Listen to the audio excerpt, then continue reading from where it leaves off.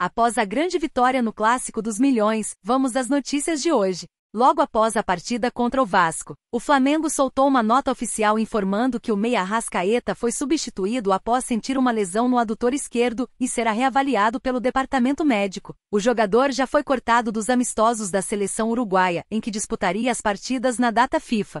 O departamento médico do Flamengo avaliará a situação do jogador para informar a real situação de Georgian de Arrascaeta em breve. E por enquanto são estas as notícias do Flamengo. Até breve.